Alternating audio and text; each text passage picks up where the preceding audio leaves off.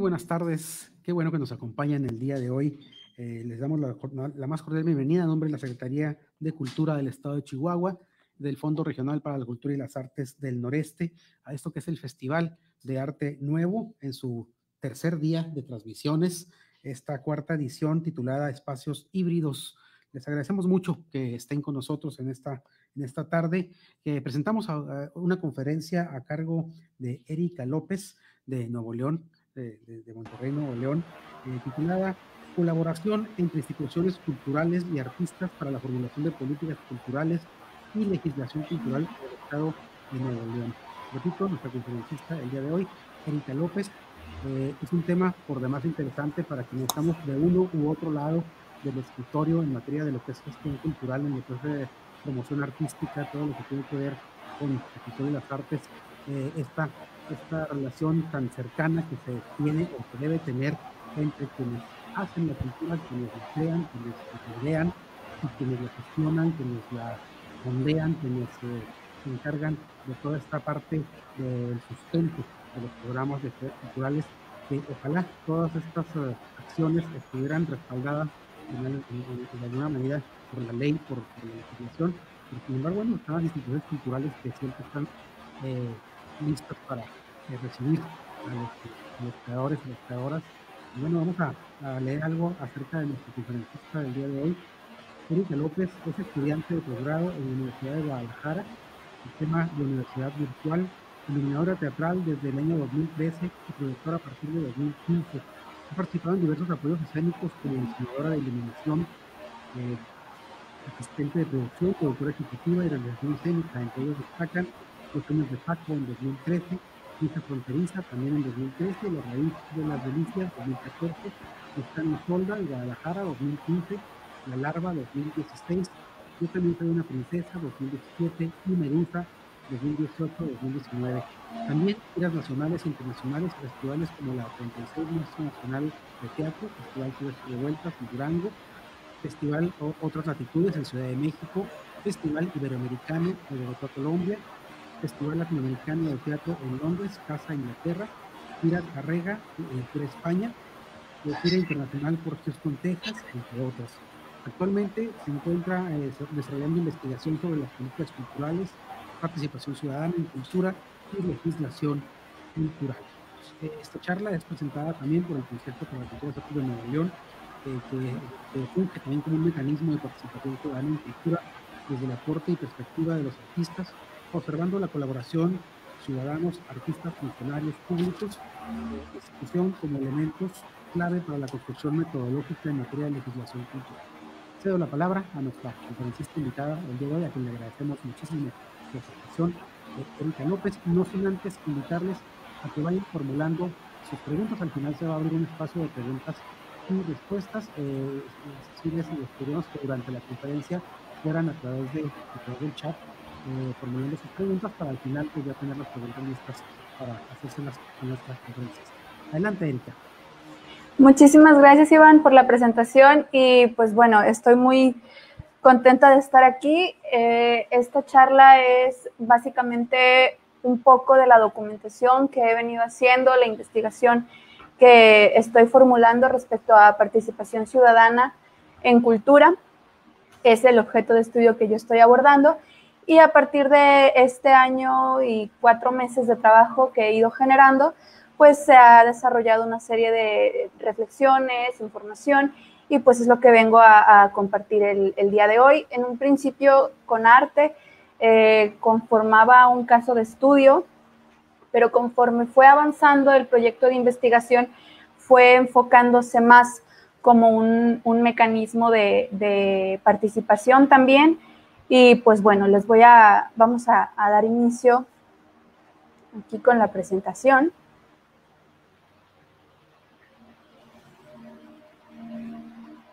Eh, la colaboración entre instituciones culturales y artistas para la formulación de políticas públicas en cultura. Primero que nada tendremos que hablar respecto a qué es una política pública. Finalmente, eh, todas las acciones que conlleva un gobierno o todas las acciones que se desarrollan desde la gobernanza son políticas públicas. Eh, el resto o el enfoque es una especie de apellido. Entonces, la política pública es un ente, por decirlo de alguna forma, que se compone de tres partes. La primera es politics, la segunda es polity y la tercera es policies. Estas tres se configuran de cierta manera para que pueda haber una funcionalidad. La politics se refiere a las luchas de poder y a los procesos de negociación mientras que la polity es lo institucional y el conjunto de reglas que establecen cómo se organiza el poder. Y las policies son las acciones o decisiones de un gobierno. Aquí es la resolución de los problemas que las partes definen como públicos y los proyectos, planes y programas de líneas de acción que eh, estos planes y programas finalmente derivan en productos que recibimos nosotros los ciudadanos, que este es el actual modelo de política nacional en cultura. Cuando se combina la politics o la polity, eh, pues como ya lo mencioné, se definen los problemas públicos. Aquí existe la oposición entre uno u otro de, de las partes que estén en el proceso de negociación. Y también existe la lucha de intereses personales y colectivos. Los principales agentes son los funcionarios públicos, los partidos políticos y la sociedad civil organizada. El primer objetivo es la búsqueda del consenso. Ahora, la polity y las policies es la dimensión operativa de la política pública, lo tangible del trabajo de cabildeo y la legislación. Aquí, como lo comenté anteriormente, se definen los planes y los programas. Eh, las policies y politics, cuando se unen, conforman la dimensión de la sociedad civil organizada y sirve para visibilizar problemas públicos que el Estado debe atender, pero los abordan desde un ámbito privado, a través de mecanismos legales o a través de la asociación civil o a través de la organización no gubernamental o a través de la sociedad civil, que igual vale la pena destacar que no es lo mismo la sociedad civil que la asociación civil. La asociación civil es en sí ya una figura eh, legal, que es como lo que se conoce como las AC, y la sociedad civil pues somos todos nosotros con una serie de características políticas. Y este último es el espacio para la participación ciudadana. La participación ciudadana se puede dar en muchos ámbitos, igual que las políticas públicas. En este caso nos vamos a centrar en la participación ciudadana en cultura y para ello vamos a hablar de qué es la participación. Giovanni Sartori lo define como tomar parte en persona y no es formar parte de modo inerte ni es estar obligado a formar parte. Participación es ponerse en movimiento por uno mismo, no ser puesto en movimiento por terceros. Y por otro lado, Ulrich Richter lo define como el conjunto de actividades, procesos y técnicas por las que la población interviene en los asuntos públicos que le afectan. Poniendo como ejemplo eh, la participación desde Giovanni Sartori. Nos referimos a esto en algo muy simple. Eh, es ponerme yo en movimiento, es decir, para participar, si quiero ver una película, yo decido con voluntad propia ir a la taquilla, comprar el boleto y sentarme a ver la función. No estoy esperando, ay, quiero ver una película y no estoy a, la expectativa de que alguien más llegue y me diga, mira, te compré un boleto para la película que quieres ver y me lleve al cine. Por otro lado, eh, queda muy claro cuando lo dice Ulrich Richter, él se refiere ya más a actividades que conforman procesos. Lo podemos ver desde la perspectiva del voto aunque el voto no es la única forma de participación ciudadana. Obviamente es la más común y es la que de cierta manera tiene más eh, como impacto, pero no es la única.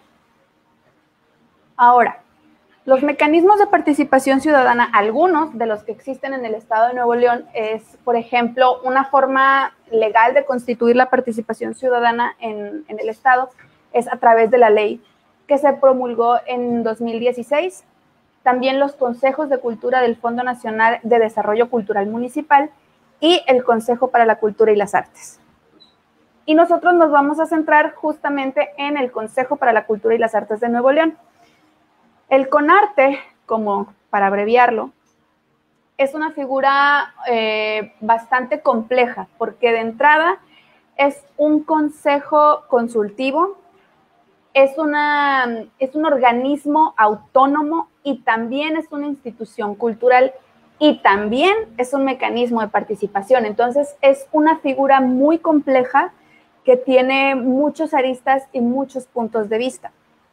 Surge en 1995 a partir de una serie de reuniones que tuvieron artistas e intelectuales para posteriormente que el gobernador Sócrates Rizo en 1995 promulgara la ley que le da origen al CONARTE. ¿Cómo se conforma CONARTE? En primer lugar, por un presidente y una secretaría técnica, por 12 vocales ciudadanos en su calidad de artistas y 12 vocales ciudadanos de dependencias públicas. Son, se integran por dos personalidades de reconocida presencia en actividades culturales en el Estado, tres personalidades académicas y tres promotores culturales, los titulares del área de radio y televisión del gobierno del Estado, el secretario de Educación o su representante y un representante de la sociedad civil mientras que los 12 vocales ciudadanos en calidad de artistas son dos representantes del gremio de danza, dos del gremio de teatro, dos del gremio de música, uno del gremio de fotografía y uno del gremio de cine y video, dos representantes del gremio de artes plásticas y dos representantes del gremio de literatura. ¿Cuáles son las responsabilidades que tienen estos 12 vocales ciudadanos de dependencias públicas? Pues votar las propuestas generadas, participar en las comisiones de trabajo para las mejoras continuas que se hacen entre una junta ordinaria y otra. Estas mismas responsabilidades también las tienen los vocales ciudadanos en calidad de artistas. Sin embargo, tienden a ser, o más bien su función principal es la de ser un enlace entre la institución y las comunidades artísticas, proponer proyectos que atiendan necesidades de la sociedad y de los artistas. Esto último eh, podría ser un punto de debate porque mayormente las comunidades artísticas y los gremios se han enfocado a generar proyectos que tiendan a las mejoras eh, de las condiciones laborales y también a la profesionalización. Y también es prudente y necesario destacar que estos 12 vocales ciudadanos en calidad de artistas son elegidos democráticamente por la comunidad a la que representan, mientras que los funcionarios públicos son elegidos por el gobernador, al igual que el presidente y la Secretaría Técnica. Y estos conforman la parte operativa y administrativa del Consejo, específicamente el presidente y la Secretaría Técnica. Este es el organigrama general del el CONARTE. Esto es como debería de funcionar. Ahora, eh, tal vez pueda surgir la pregunta de por qué en la pantalla se comparte de esta forma el, organigrama, por qué están todos de forma horizontal. Esto es porque no hay nada por encima del consejo. Es decir, todas las decisiones deben ser consensuadas. Todo lo que se vaya a decidir que vaya a tener un impacto tanto en política cultural como en funcionamiento interno, tiene que estar rebotado y tiene que estar consultado entre todos los integrantes del Consejo. ni el presidente ni la Secretaría Técnica tienen un voto superior, ni mucho menos. Todos son exactamente iguales. La única diferencia es que al momento de estar en los procesos de negociación, cuando hay algún empate, el presidente tiene un voto de calidad. Pero ¿qué es lo que ocurre aquí? Y es una situación que sí se debe mencionar y es hasta cierto punto una coyuntura o un área de oportunidad. Eh, lo que sucede específicamente con el tema de las vocalías es que los vocales ciudadanos eh, de dependencias públicas y el, y el presidente y la secretaría técnica son mayoría. Entonces, muchas veces a la hora de estar votando o estar tratando de generar consensos, hay una línea muy clara que viene desde la directriz de gobierno y puede ser que los artistas estén considerando que no sea la mejor decisión para ellos o para el entorno laboral y es aquí donde empiezan a surgir los roces propios de las luchas de poder, que era lo que comentaba al principio. Otra situación también que se ha hablado mucho a los últimos meses y que tiene que ser visibilizada también y se están buscando las formas, es que para acceder al pleno de Conarte dentro de los gremios o como vocal, tienes que estar precisamente agremiado. Y hay una serie de requisitos. Esos requisitos implican tener un perfil concretamente artístico comprobable de mínimo tres años a través de programas de mano o cualquier tipo de documento probatorio.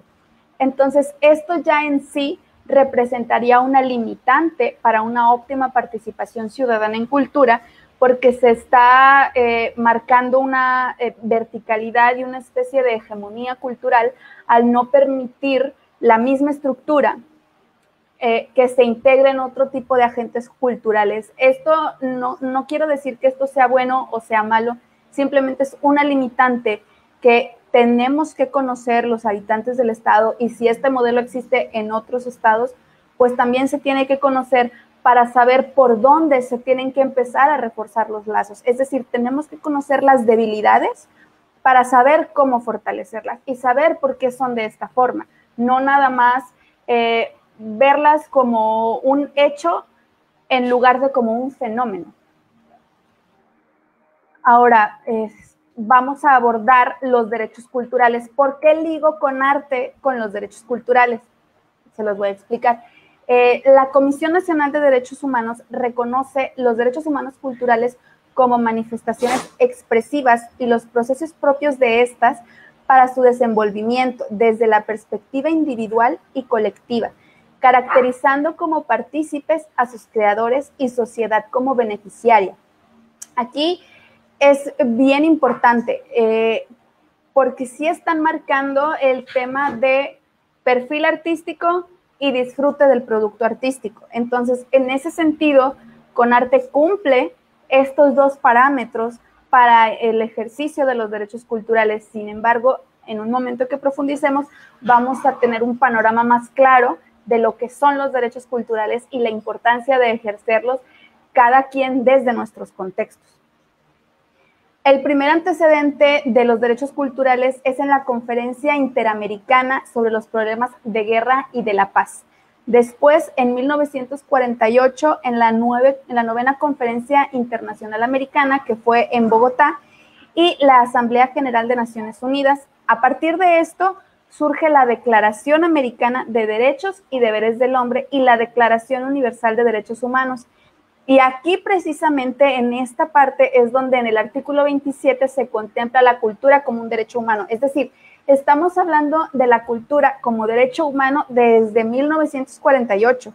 O sea, van a ser muchísimos años y eh, seguimos buscando todavía las formas para concretar las, em, las cuestiones tangibles a través de las cuales podemos ejercer estos derechos.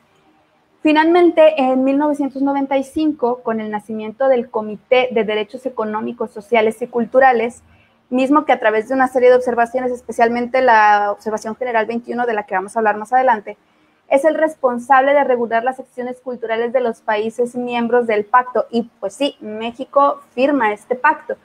Lo que hace el comité es que observa las acciones que hacen los estados o los países para garantizar el derecho a la cultura de sus ciudadanos y si algún programa no se ajusta, la Observación General 21 emite recomendaciones. No son de carácter legislativo, pero sí son recomendaciones que deben ser atendidas por parte de los países.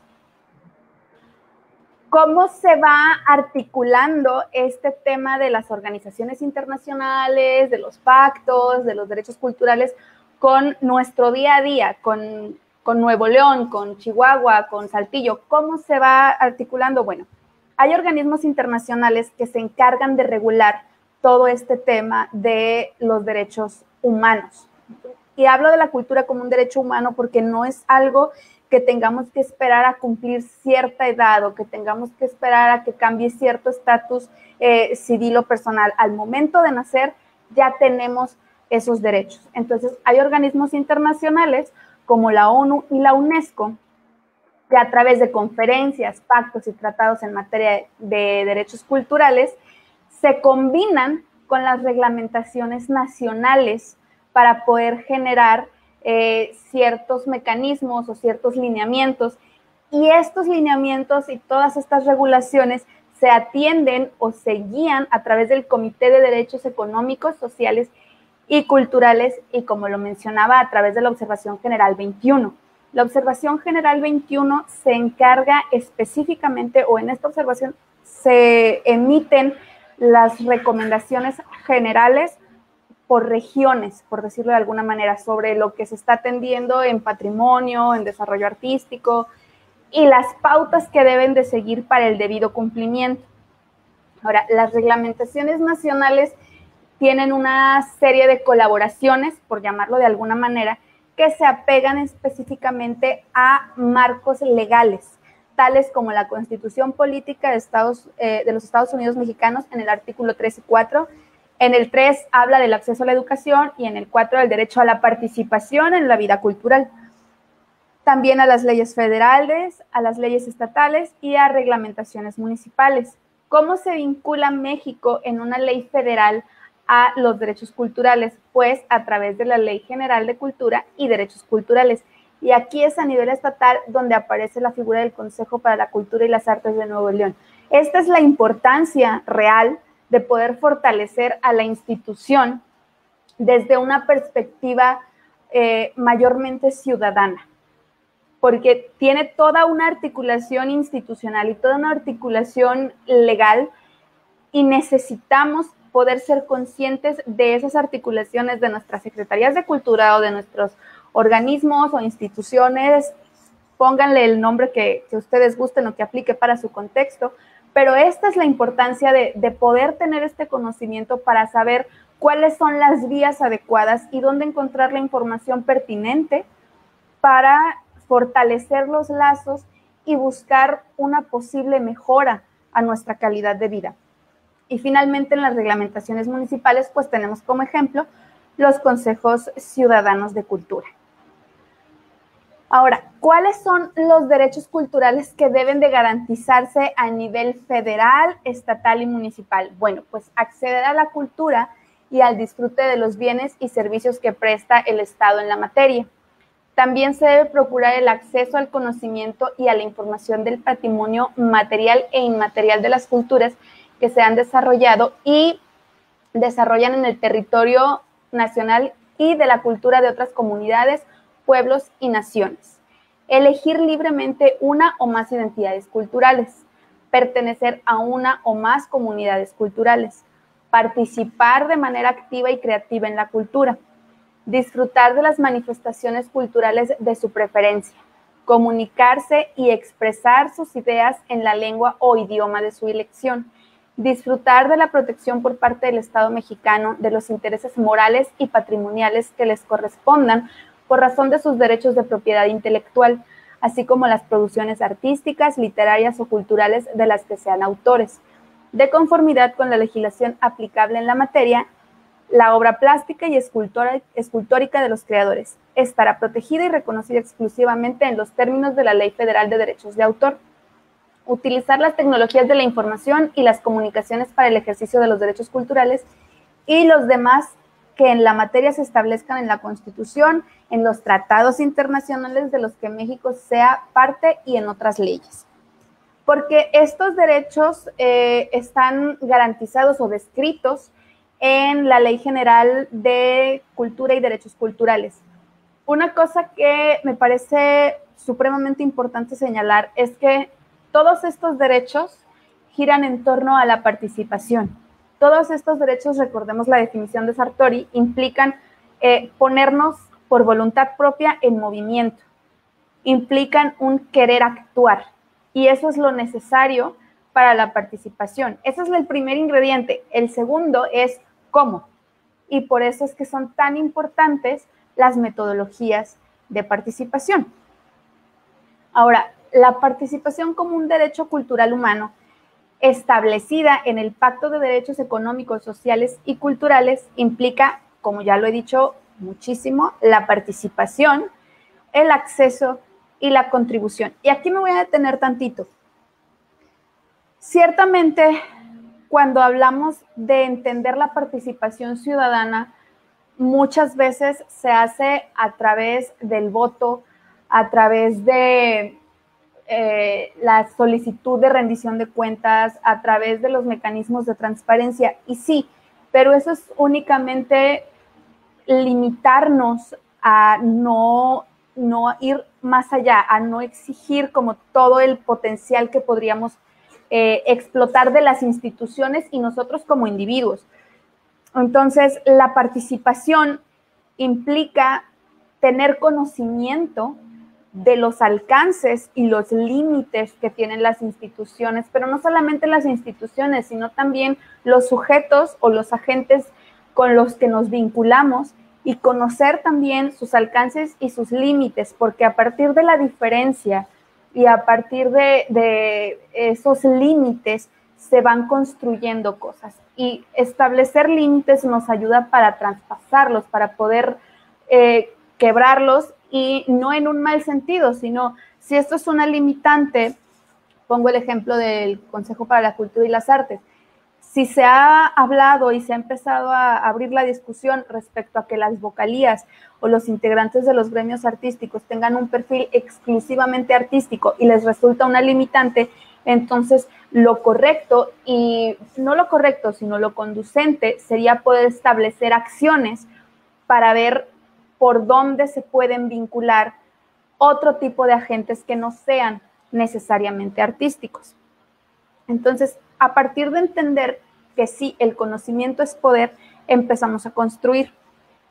Y voy a hacer rapidísimo mención a una cuestión de metodología de participación, que son precisamente los presupuestos participativos, que ocurría al interior de las vocalías artísticas es tan complejo, es decir, el Consejo para la Cultura y las Artes es un mecanismo de participación y tiene sus metodologías. Una de ellas son los consejos y la otra que tenían hasta 2019, teníamos hasta 2019, eran los presupuestos participativos.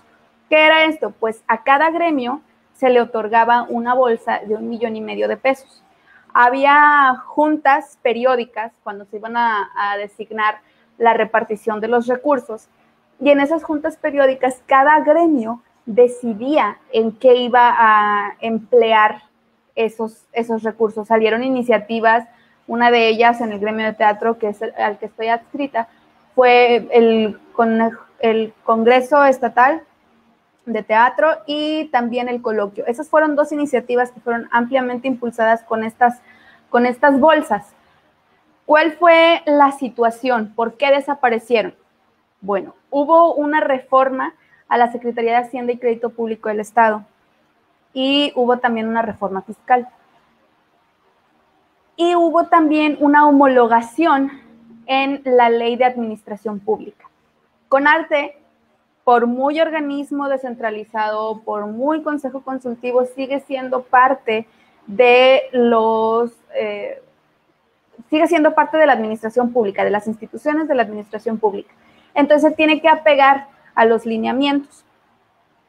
¿Qué fue lo que ocurrió? Hay esta reforma, le impiden a Conarte que siga haciendo ese ejercicio de recursos a los gremios. ¿Por qué? Porque los gremios no representamos una figura fiscal en la cual se puede ejercer. Entonces, a partir del entendimiento de esto, es que se hace una reingeniería de la forma operativa de Conarte y se retiran los, eh, los presupuestos participativos o las bolsas, como les llamaban, se integra en una sola y a partir de esto la elección de los proyectos empieza a ser de forma distinta. Ya no se votan al interior del gremio, sino en las juntas de comisión. La molestia general en la comunidad artística eh, era muy sonada, se hablaba mucho de eso y ciertamente afectó en la participación y en el quórum de las juntas. Los compañeros, algunos decidieron, decidimos dejar de asistir porque era lo único que se hacía en los gremios en, durante la existencia del CONARTE hasta ahora entonces empieza a haber una especie de, quiebre o una fricción mayor entre los integrantes del consejo, pero es bien importante señalar que la legislación cultural precisamente para esto es útil. Es decir, teniendo la información y siendo conscientes que como comunidad artística, que no representamos una figura fiscal, la institución tiene esa limitante, no nos puede eh, dar un presupuesto sin poder comprobar en qué está ejerciendo. Entonces, a partir de aquí se empiezan a estructurar eh, las posibles soluciones o se empiezan a, construir las eh, amalgamas para poder plantear soluciones. Es obviamente, fue muy molesto, fue un impacto muy grande, no molesto, fue un impacto, fue un shock para algunos compañeros esta situación, pero a partir de que se genera el entendimiento, se empieza a planear y se empieza a pensar cómo se puede colaborar junto a la institución para poder legislar y recuperar esos presupuestos participativos. Es decir, aquí la comunidad artística se está poniendo por voluntad propia en movimiento para obtener un beneficio o para resolver un problema que directamente les afecta.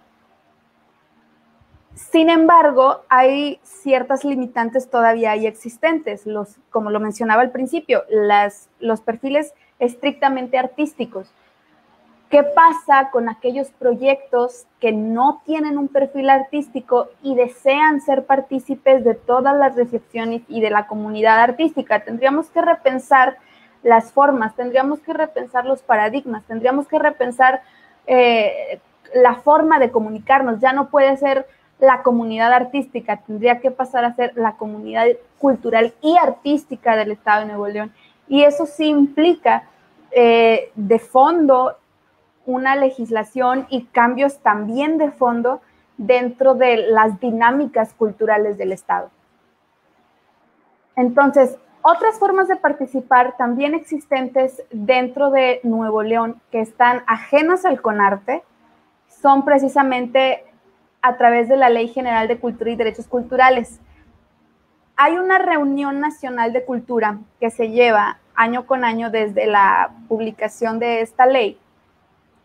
Y aquí se incluyen funcionarios públicos y ciudadanos académicos y gestores. ¿Cómo se ha llevado a cabo toda esta, em, la operatividad de la Ley General de Cultura y Derechos Culturales? Ah, bueno, sí se establece una serie de lineamientos, sí se establece una serie de funcionamientos y garantías que deben llevarse a cabo para poder garantizar los derechos culturales, pero sí en el artículo 30, 32, no me acuerdo muy bien, habla acerca de involucrar a través de una convocatoria a ciudadanos dentro de esta reunión nacional de, cultura para establecer diagnósticos en cuanto a las cosas que estén necesitando la comunidad y poder eh, empezar a organizar la ley, eh, la política nacional en materia de cultura.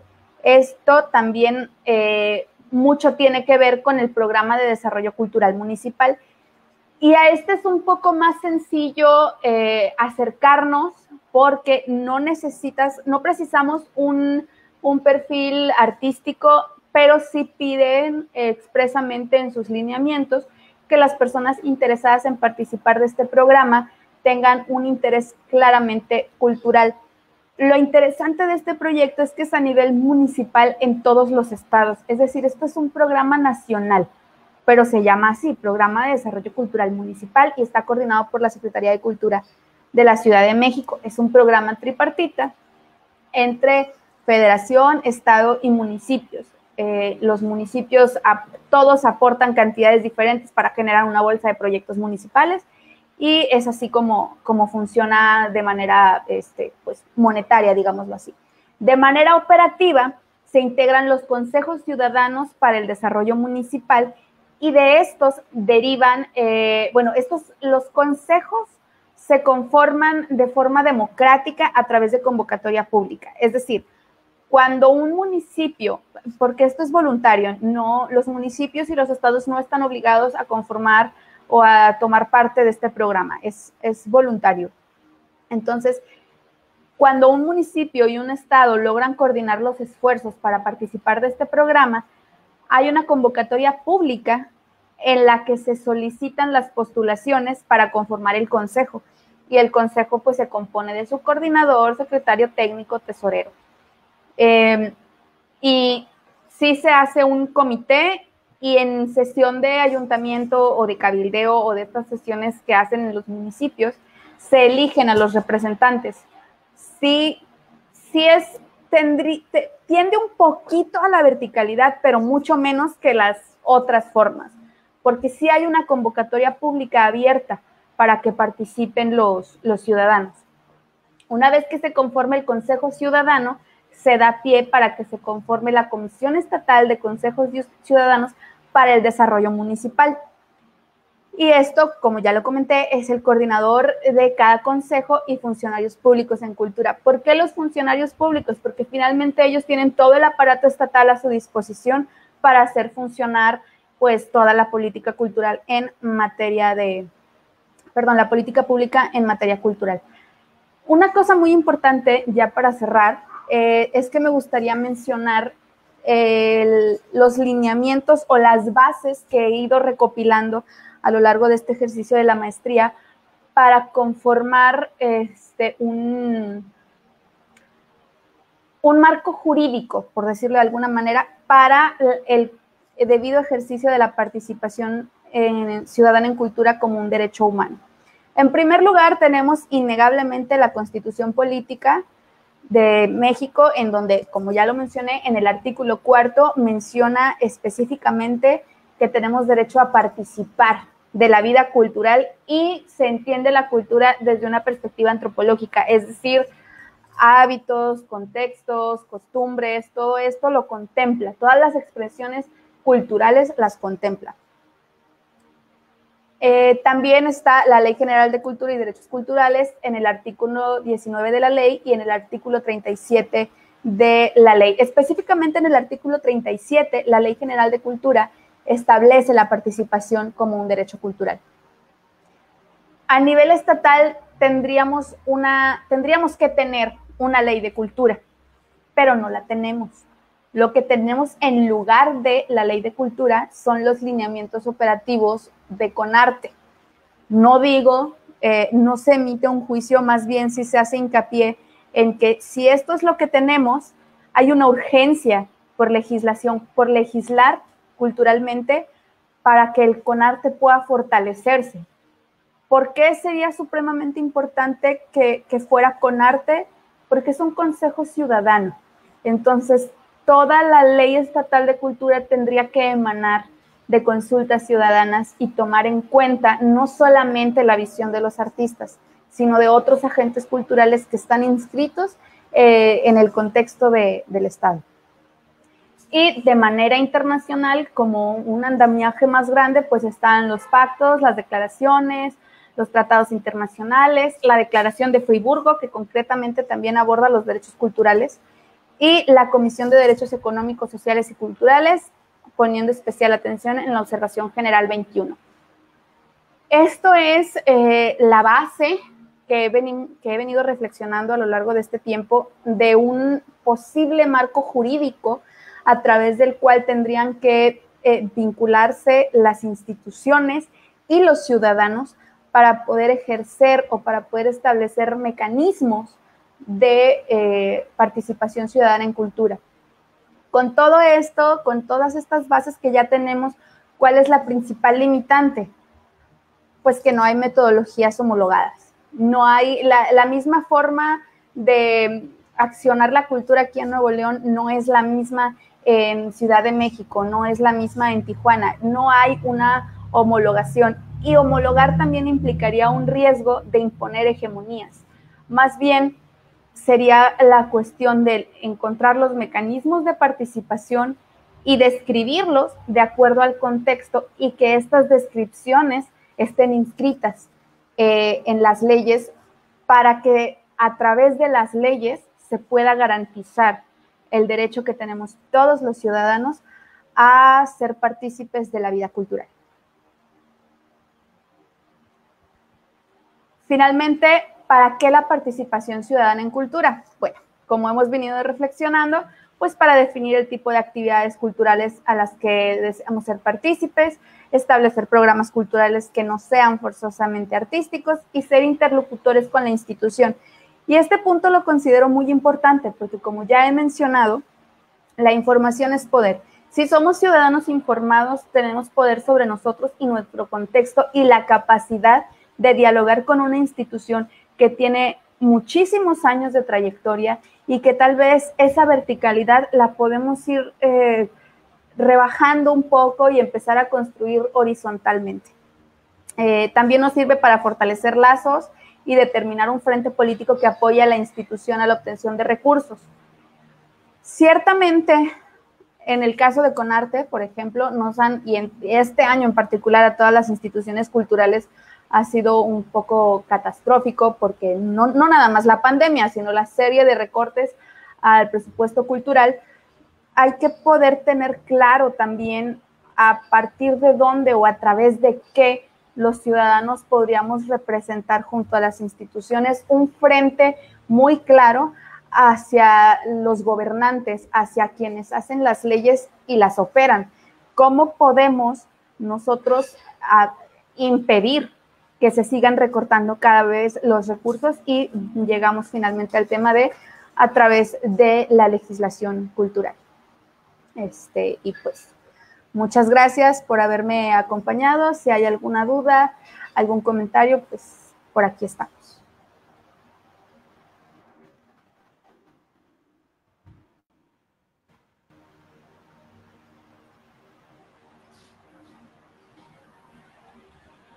Bueno, agradecemos eh, a Erika López por su participación, pero antes eh, de despedirnos, sí, tenemos por aquí una, una pregunta. Eh, dice, ¿cuál crees que es la debilidad más grande que encuentras en esta estructura horizontal en la que se encuentra con arte? ¿Y cuál crees que es la mejor forma de solucionarla? Una pregunta para Erika. Creo que el, lo más inflexible o, la mayor cuestión con la verticalidad de Conarte tiene que ver con su constitución. Es decir, desde el origen se constituyó en una cuestión de cultura hegemónica donde solo las bellas artes pueden ser tomadas en cuenta. Y no tiene que ver con, o sea, no lo veo como una cuestión de malicia, no lo veo, es decir, con arte es una muy buena intención que durante muchos años funcionó muy bien, eh, pero repito, tiene una serie de limitantes y una de esas eh, yo creo que tiene que ver ahorita con, la ley que le da origen. ¿Y cuál era el resto de la pregunta, perdón? Era una pregunta en dos partes. Eh, que ¿Cuál es la debilidad más grande que encuentras en esta estructura horizontal en la con arte y cuál crees que es la mejor forma de solucionarlo? La mejor forma de solucionarlo me parece que es a través de la divulgación de los derechos. O sea, sí creo que su verticalidad, eh, su origen en la ley le otorga esta verticalidad. Porque aunque exista consejo, aunque existan vocales y todo, no hay metodologías para que se puedan ejercer eh, el totalidad de la complejidad que es administrar la cultura. Y la forma más óptima, o la, es que no creo que haya una mejor forma, porque lo que es mejor para unos no lo es para otros. Eh, pero sí creo que una forma un poco eh, más encaminada a plantear una solución sería, en primer lugar, abrir el tema de las vocalías artísticas, que dejaran de ser vocalías artísticas para que fueran comunidad cultural y artística, para que se puedan inscribir gestores culturales, animadores de lectura, promotores, toda esta eh, área muy importante de la cultura en Nuevo León que no está siendo representada.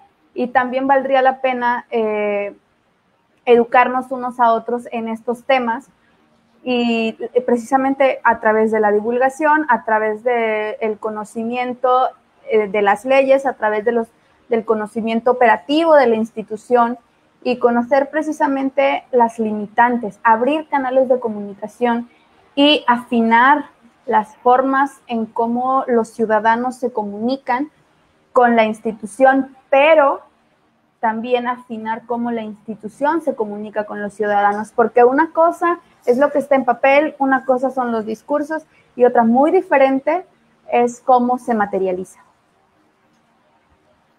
No tenemos alguna otra pregunta por ahí del público.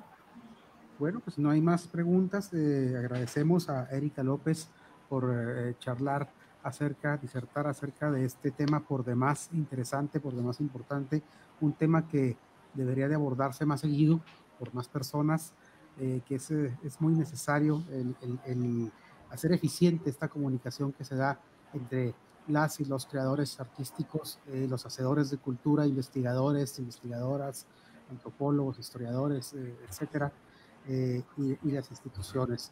de parte de la Secretaría de Cultura del Gobierno del Estado, del eh, Consejo eh, Regional para la Cultura y las Artes del Noreste. Les damos las gracias por eh, haber estado con nosotros en esta charla con Erika López.